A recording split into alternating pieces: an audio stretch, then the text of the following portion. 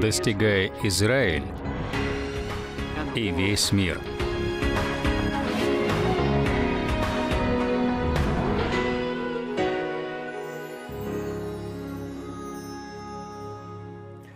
Барух Ашем, благословенно имя Господа. Меня зовут Равин Шнайдер, а это моя прекрасная жена Синтия Марджери. И сегодня мы продолжаем серию программ, которую я назвал «Закон сопротивления». Дорогая, мы уже говорили о том, что Господь поместил на землю силы тьмы, чтобы его сыновья и дочери учились противостоять им и при этом возрастать в силе, наслаждаясь его славой и радостью. Это время, когда верующие собираются вместе. Они ощущают радость в Духе Божьем и о том, что Он делает. Мы вспоминаем Его жертву за нас. Это дар величайшей любви, символ Его крови и тела. Аминь. Когда мы понимаем, что Господь специально дал нам врага, то мы также понимаем, что трудности, с которыми мы сталкиваемся, это инструменты, которые мы можем использовать, чтобы возрастать в Боге и становиться еще сильнее в Нем. Тогда нам проще проходить трудности без разочарований и отчаяния внутри. А когда мы понимаем, что сопротивляясь силам тьмы, мы становимся сильнее в свете Святого Духа, а также что у всего есть своя цель, то мы не будем тратить эти испытания впустую. Дорогая, помолись за нас. У нас есть еще несколько секунд. И Иешуа пришел на землю. Это общение любви и единства в Духе Божьем.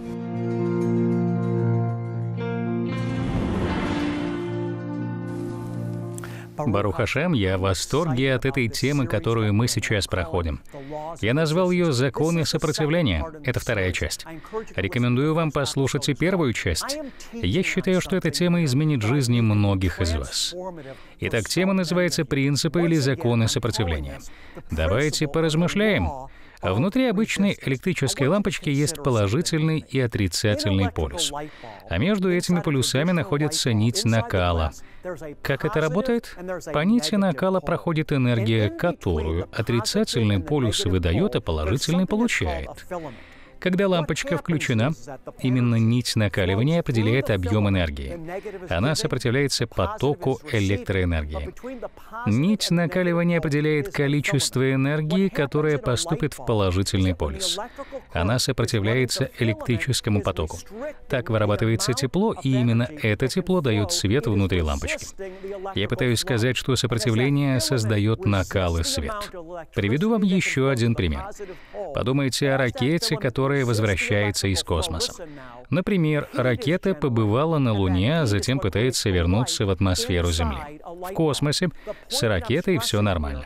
Я имею в виду в температурном смысле, но чем ближе она к Земле, тем выше поднимается температура, и нужно предпринимать особые меры, чтобы ракета не взорвалась при столкновении с атмосферой Земли.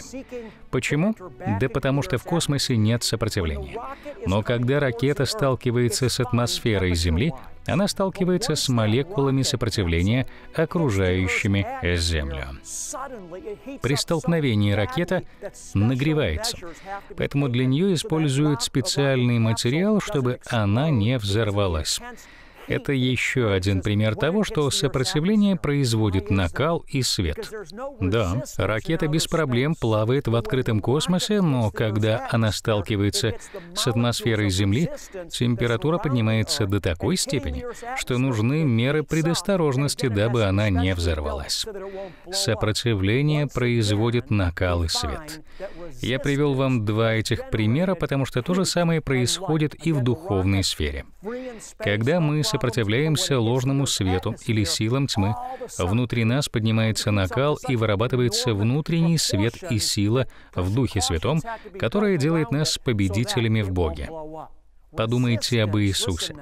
И Иисус отправился к реке Иордан, чтобы принять крещение от Йоханана или Иоанна Крестителя. Там над его головой появился Дух Святой, а с неба прозвучал голос «Ты Сын мой возлюбленный, в Тебе мое благоволение». Писание говорит, что сразу после этого Дух Божий, Дух самого Элухима, повел Иешуа в пустыню, где дьявол хотел загнать его в ловушку. Дьявол хотел хотел соблазнить или искусить его. А каким образом? Он хотел, чтобы Иешуа пошел за ложным светом. Если помните, Иисус постился 40 дней. Что сказал ему дьявол? Он сказал, «Сделай так, чтобы эти камни стали хлебами». Он хотел заставить Иисуса использовать власть за пределами воли Отца. Заметьте, как дьявол апеллирует к желаниям Иисуса, к чувству голода, но он сделал это с помощью ложного света. Иисусу нужно было противостать ложному свету от дьявола. Оказав сопротивление дьяволу, Писание говорит, что он вышел из пустыни в силе Духа. Дух повел его в пустыню, но только после сопротивления. Напоминаю, что мы говорим о законах сопротивления. Только после сопротивления ложному свету, свету, который пытался удовлетворить желание Иешуа запрещенными методами, только после того, как Иешуа оказал сопротивление силам тьмы, он вышел оттуда и получил силу для своего служения.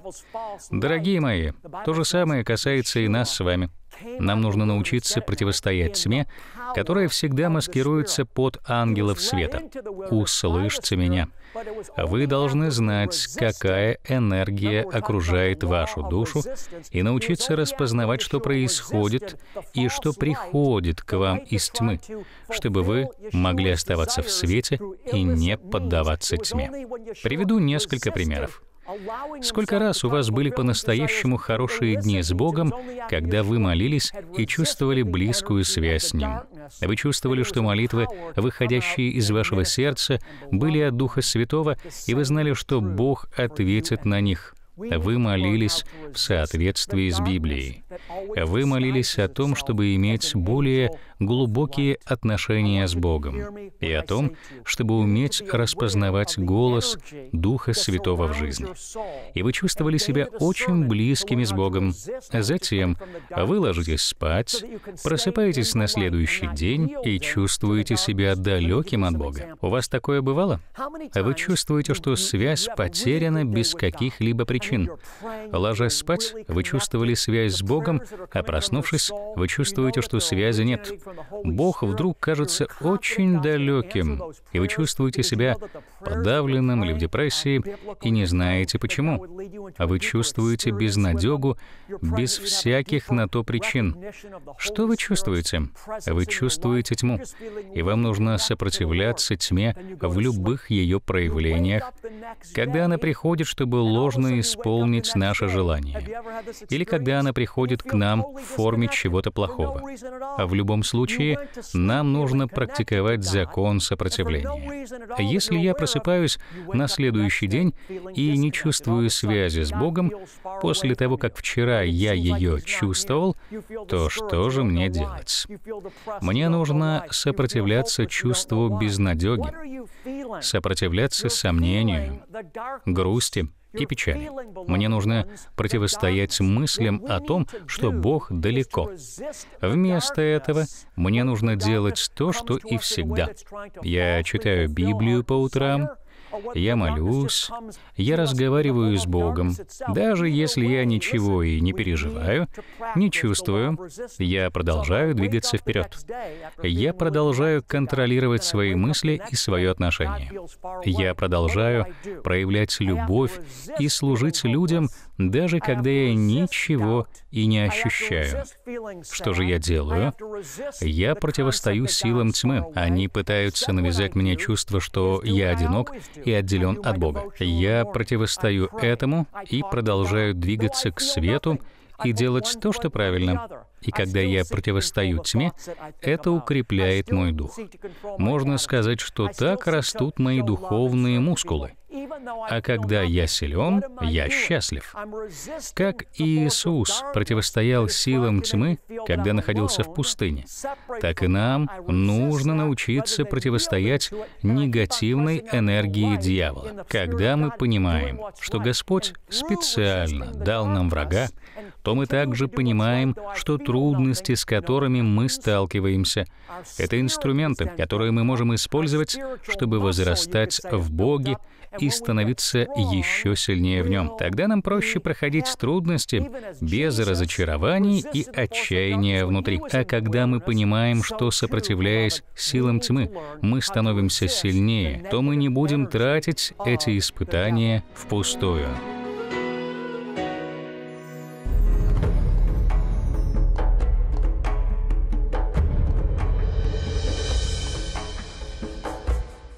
Я верю, что во время моей молитвы Дух Святой будет давать вам разные картинки.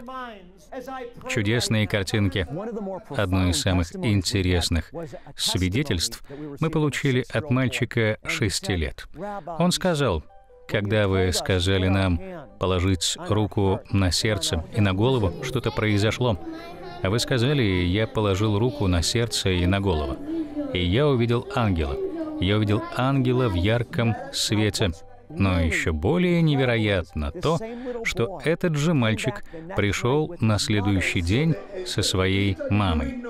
Мы даже и не знали, что с самого рождения мальчик страдал от астмы. Из-за астмы он по ночам тяжело дышал. Его дыхание было очень прерывистым, но теперь у него чистое прекрасное дыхание. Получается, что он не только увидел видением, но и был исцелен от астмы. Мальчик полностью исцелен, а это его мама. Сегодня я дышу хорошо. Реальный Иисус, которого мы проповедуем. Иисус, который вчера, сегодня и вовеки тот же, все еще проявляет свою силу. Павел говорил, что он проповедует Евангелие не только на словах. Он приносил людям Иисуса в духе и в силе, во всех проявлениях.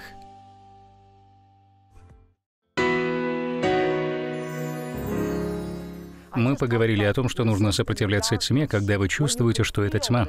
Когда вам грустно, одиноко, когда вам хочется нагрубить кому-то или проявить гнев.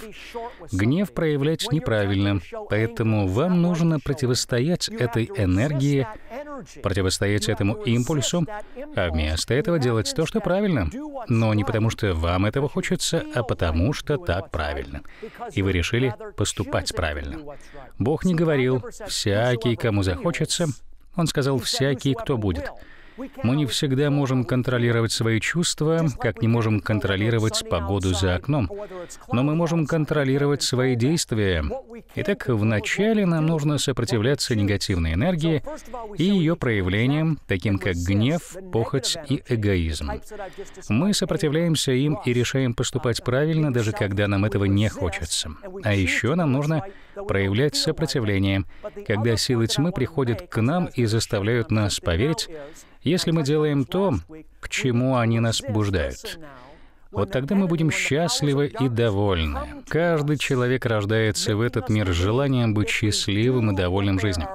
Мы такими родились. Подумайте об энергии, об электричестве. В электричестве есть плюс и минус. Возьмем, к примеру, аккумулятор в машине. Вы когда-нибудь пробовали его зарядить? Вы знаете, что на нем есть значок плюс и минус. И вам нужно все подсоединить правильно, чтобы не было искры, и вы не посадили аккумулятор полностью. То есть в электричестве есть положительный и отрицательный полюс. Тоже можно сказать о духовном мире.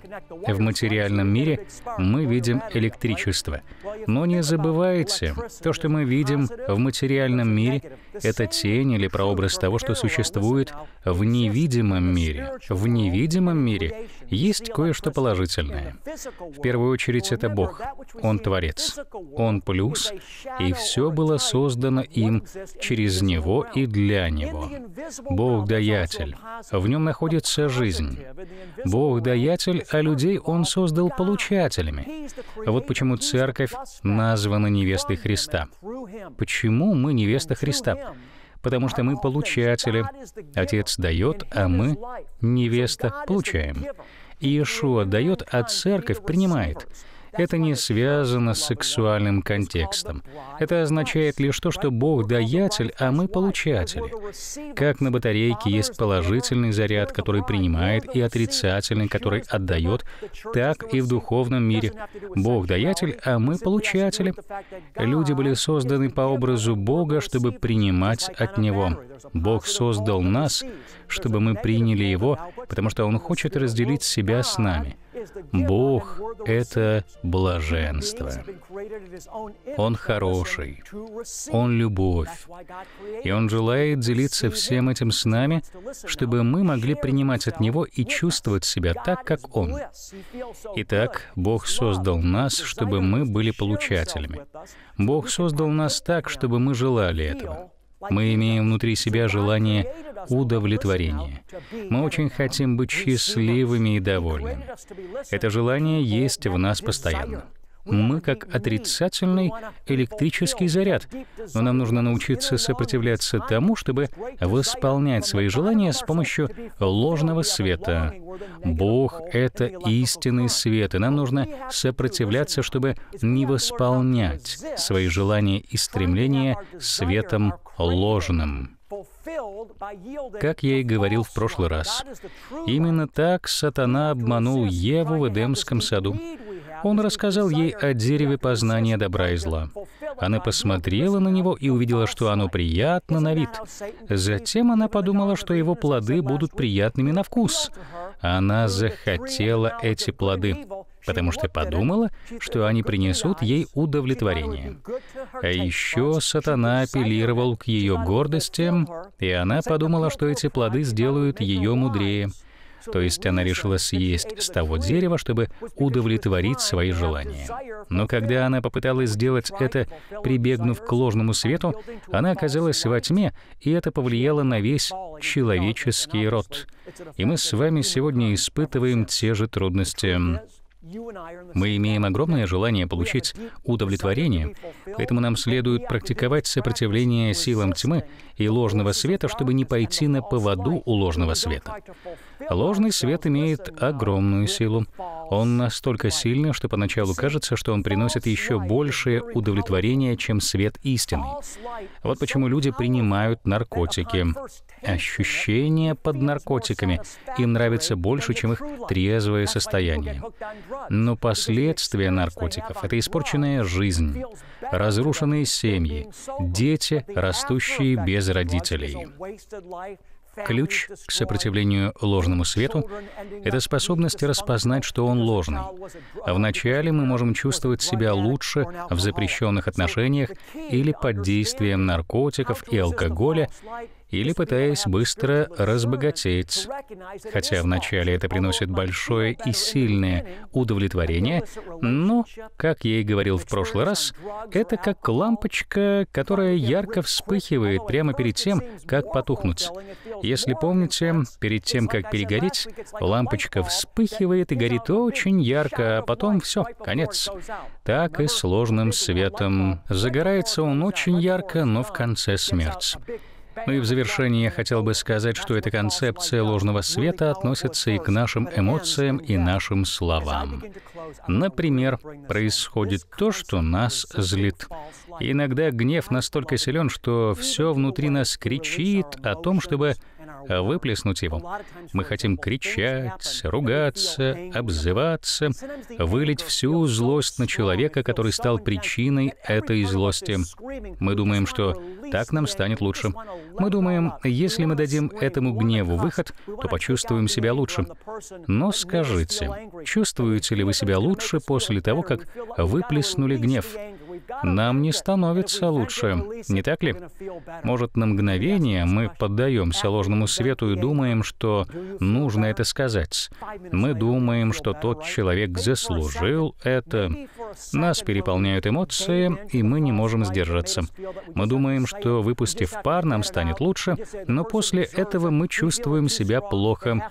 Мы чувствуем сожаление. Принцип сопротивления означает, что мы сопротивляемся желанию поддаться плохим импульсам, которые приходят к нам в виде ложного света и которые побуждают нас говорить то, что говорить не следует. Нам нужно практиковать сопротивление. Мы сопротивляемся желанию проявить гнев или произнести гневные слова. Мы сопротивляемся желанию произнести слова, которые могут сблизить нас с человеком, с которым не нужно сближаться. Возможно, вы умираете от желания сказать что-то какому-то человеку, потому что чувствуете близость между вами. Вы хотите стать еще ближе, но это не ваш человек. Он не должен быть вашим, поэтому вам не нужно сближаться. Значит, вам нужно сопротивляться этому желанию, сопротивляться энергии зла и оставаться в Иисусе. Я из личного опыта знаю, что благодаря сопротивлению гневу изменилась моя душа, я очень решительный человек. Если на моем пути возникают какие-то преграды, меня это расстраивает. Я чувствую злость внутри. И в молодости я не умел распознавать этого и не понимал, что нужно противостоять этому чувству. Но Бог начал учить меня и показывать мне, что я должен взять на себя ответственность за мой гнев. Я не могу винить в этом обстоятельства или людей. И когда я стал противостоять гневу, моя душа возрадовалась и изменилась. Ну а закончить я хотел бы такой аналогией. Представьте себе ракету, которая улетает на Луну. Когда ракета взлетает, она становится все ближе к Солнцу. Она летит на Луну, но при этом становится ближе к Солнцу. Но как только ракета вылетает за пределы атмосферы Земли, она больше не видит солнечный свет. Солнце она видит, но в открытом космосе темно. Вы когда-нибудь видели снимок космоса? Космос черный. Это кажется бессмысленным. Почему на Земле ракета видит солнечный свет, хотя Земля и дальше от Солнца? Но за пределами атмосферы Земли космос черный, хотя там ракета еще ближе к Солнцу. Почему так? Все потому, что в открытом космосе лучи Солнца не сталкиваются с сопротивлением. Чтобы лучи Солнца были видны, они должны столкнуться с чем-то. Когда лучи Солнца сталкиваются с атмосферой Земли, в ней есть молекулы сопротивления. И благодаря этому сопротивлению виден свет. То же самое происходит и в нашей жизни. Бог так задумал. Чтобы Дух Святой мог сиять в нашей жизни, мы должны сопротивляться. Мы должны сопротивляться силам тьмы. Так мы усиливаем действие Духа Святого в нашей жизни. Через сопротивление сила Святого Духа работает с нашей душой, и мы сияем в этом мире, как свет Иисуса, проявляя Его силу и Его победу. Иисус сказал, что побеждающий унаследует рай Божий. Этот мир не может удовлетворить наши нужды. Мы с вами солдаты Бога Живого. Давайте будем противостоять ложному свету и побеждать во имя Иешуа. Шалом.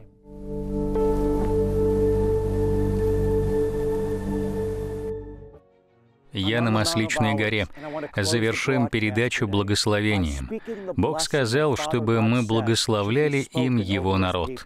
В книге чисел Бог повелел Моисею и Аарону говорить эти слова над народом его, и тогда он запечатлеет свое имя на них и благословит их. Yavarechecha Yahweh Vayishmarecha.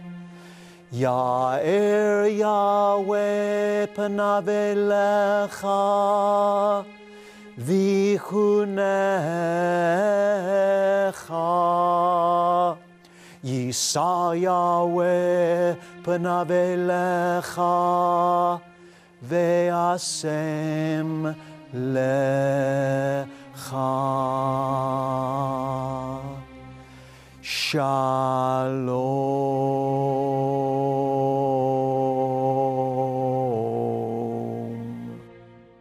Пусть Бог Отец, Яхве, Бог Израиля, благословит вас и сохранит. Пусть Господь презрит лицом Своим на вас и будет милостив к вам. Да обратит Господь лицо Свое на вас. И пусть Бог Отец продолжает непрестанно давать вам Божий мир. Если двое из вас согласятся на земле просить о всяком деле, то чего бы ни попросили, будет им от Отца Моего Небесного. Позвольте нам молиться о вас. Присылайте нам на сайт ваши молитвенные просьбы или пишите на наш почтовый адрес. Наша команда молитвенников молится за каждую нужду в отдельности. Когда вы получите ответ от Бога, или если Бог коснулся вас через наше служение, вышлите нам свое свидетельство. Мы хотим радоваться вместе с вами. Ваше свидетельство вдохновит других. Мы побеждаем кровью Агнца и словом свидетельства своего. Сегодняшний выпуск был заключительным серии «Законы сопротивления». Если вам понравилась эта серия и вы хотите приобрести ее, заходите на наш сайт.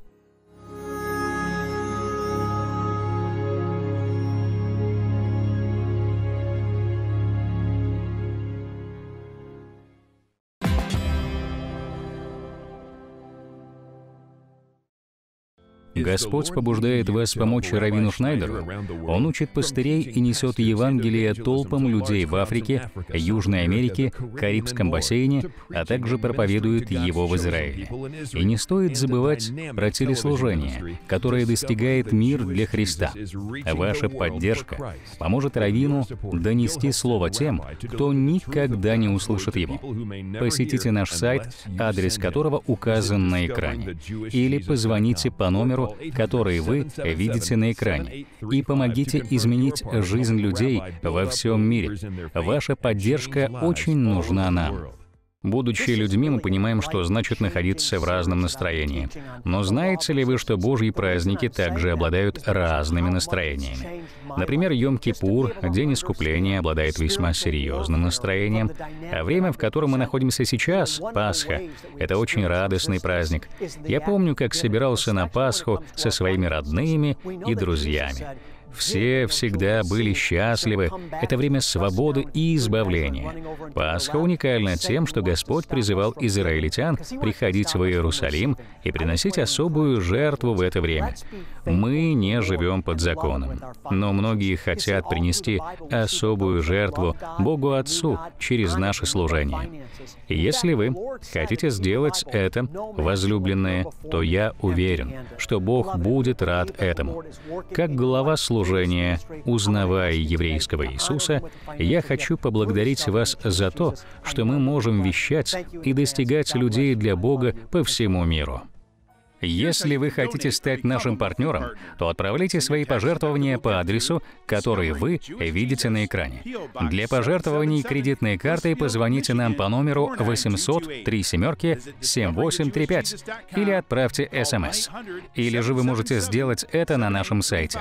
В знак благодарности мы вышлем вам аудиопроповедь Равина Шнайдера и наш информационный бюллетень. Ваше даяние принесет Божие спасение в Израиль Израиль и весь мир через интернет, телевидение и крусейды. Свои смс-сообщения вы можете присылать нам на номер 45337. На Земле многие из нас верны Господу в финансах. Если вы желаете почтить Господа своими финансами, отправившись на небеса, зайдите в раздел «Завещание» Телепередача Равина Шнайдера «Узнавая еврейского Иисуса» теперь доступна на русском языке на YouTube. Равин – еврейский верующий в Мессию Иисуса. Слушая и применяя принципы этих уроков, вы получите откровение сегодня для вашего лучшего будущего. Посетите YouTube сегодня и подпишитесь на канал «Узнавая еврейского Иисуса». Также убедитесь нажать на значок колокольчика рядом с кнопкой «Подписаться», чтобы получать уведомления и не пропустить ни одного эпизода.